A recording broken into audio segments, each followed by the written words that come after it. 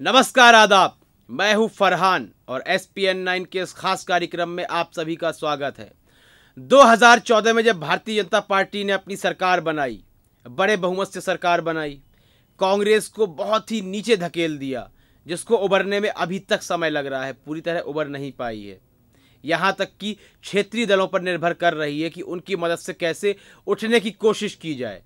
जब यह सरकार आती है तो देश विदेश हर जगह चर्चाएँ होती हैं योजनाओं की तारीफ़ हो रही होती है। चाहे वह आयुष्मान भारत हो, उज्ज्वला योजना हो, तमाम योजनाएँ निकाली गई, लेकिन वह अंत तक पहुँची या नहीं पहुँची? उसके वही परिणाम आए सुखद परिणाम जिसकी कल्पना की जा रही थी, सोचा जा रहा था कि यह योजना इस तरह का परिणाम देंगी। क्या वह परिणाम सामने आ गए? बिल्कुल सामने नहीं आए। अब तक जो बजट खर्च किया जाना था, उसका तीस परसेंट ही लगभग खर्च किया गया है, योजनाओं को लेकर। लेकिन यदि आप योजनाओं के प्रचार की कीमत निकालें, उसकी गणना करें तो वह पैसा, वह कीमत, उन योजनाओं की, जो मूल कीमत लगाई गई थी, उससे कहीं ज़्यादा निकल कर सामने आता है। 2014 से 2019 तक के चुनाव प्रचार में जितना पैसा लगाया गया है, वह योजनाएँ उसका आधा हिस्सा भी नहीं है, जो खर्चा आया है। यह सोचने वाली बात है। कि जितना आपने खर्चा प्रचार में कर दिया है, उतने पैसे की तो वह योजना ही नहीं है, उससे बहुत कम पैसे की वह योजना है। और उतना पैसा भी उस योजना में पूरा खर्च किया ही नहीं गया है। इस वक्त हम बात कर रहे हैं झारखंड के जमशेदपुर की। वहाँ एक 12 साल के बच्चे की मृत्यु हो जाती है। मृत्यु इसलिए हो जाती है कि उनके पास पैसे नहीं थे। आयुष्मान भारत का कार्ड था, जिसके ज़रिए फ्री इलाज की जो घोषणा की गई थी और कहा गया था कि गरीब तबका लाभान्वित होगा इसके ज़रिए। वह कार्ड था लेकिन तब भी डॉक्टर आनाकानी करते हैं इलाज समय पर हो नहीं पाता है और वह बारह वर्षीय बच्चा अपनी अपना दम तोड़ देता है। उसकी मृत्यु हो जाती है। निंदनीय है। लेकिन आप कहेंगे या फिर मनोज तिवारी भी निकल कर सामने आएँगे वह क्या कहेंगे? कि हम्म, भड़काया जा रहा है भ्रम पैदा किया जा रहा है इसी बातों को तो आकर वह कहेंगे। और कहेंगे, योजनाएँ चल रही है, उसमें डॉक्टर की कमी होगी, शायद डॉक्टर कांग्रेसी हो, या कांग्रेसी नेताओं ने जाकर डॉक्टर को हड़का दिया हो, दहशत दे दी हो, कि आप इलाज ना करें और प्रधानमंत्री की किरकिरी हो। इस तरह की बातें भी दे सकते हैं, इस तरह के बयान दे सकते हैं बेतुके मनोज तिवारी। आप देख रहे हैं दिल्ली में केजरीवाल के खिलाफ किस तरह के बेतुके बयान देते नज़र आ रहे हैं। हम यहाँ बात कर रहे हैं जो 12 वर्षीय बच्चे की मौत हो गई है, आयुष्मान भारत का कार्ड होते हुए भी।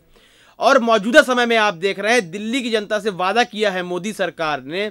अपने मैनिफेस्टो में जो बात रखने को कही है और जो रख दी है लगभग, यह कहा है कि पाँच लाख तक की राशि का इलाज मुफ़्त होगा इस योजना को, के अंतर्गत।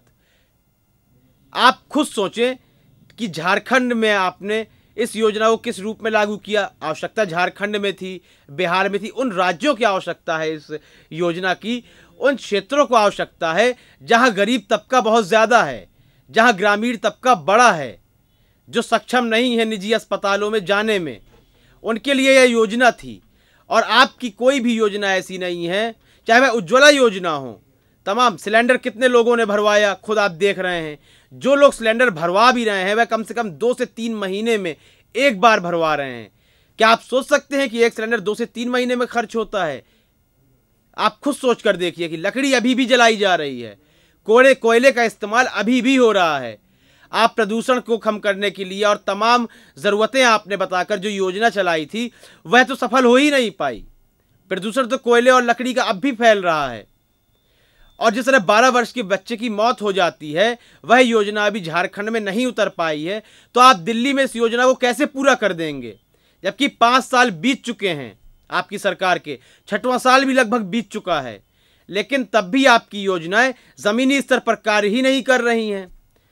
चुनाव जीतने के लिए मात्र जुमलों का प्रयोग किया जाता है। केजरीवाल की योजनाओं को पाँच गुना बढ़ाकर पेश किया जाता है। लेकिन जब आप मौजूदा सत्ता में आते हैं तो उसका कोई फ़ायदा नहीं दिखता। आप कहेंगे झारखंड में हेमंत सोरेन की सरकार है। अभी उन्हें एक माह भी नहीं बीता है। लगभग एक माह होने वाला है उन्हें। सरकार बनाए हुए, शपथ लिए हुए। इससे पहले तो रघुबर दास ही थे झारखंड में। आपकी ही सरकार थी। उस योजना को लागू करने में इतना, इतनी देर क्यों हो गई? क्यों विलंब हो रहा है? क्यों वहाँ पर आदिवासियों को प्रताड़ित किया गया था? उनकी ज़मीनें छीनी गई थी। कानूनों में फेरबदल किया गया था। तमाम ऐसी घटनाएँ हैं जो आपके खिलाफ हैं और आपके वादों को जुमला पे, पेश करती हुई नज़र आ रही हैं कि जुमला है आप आपकी वह सारी बातें। इस संबंध में आपकी क्या राय है अपनी राय देना बिल्कुल भी ना भूलें। कार्यक्रम को लाइक अवश्य करें आपका लाइक भी महत्वपूर्ण है। ज़्यादा से ज़्यादा शेयर करें और चैनल को सब्सक्राइब करना बिल्कुल भी ना भूलें। तब तक के लिए इजाज़त चाहूँगा। नमस्कार।